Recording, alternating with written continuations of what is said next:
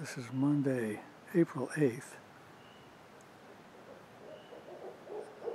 About 10 o'clock. I'm out in the backyard. The bears are hooting up a storm.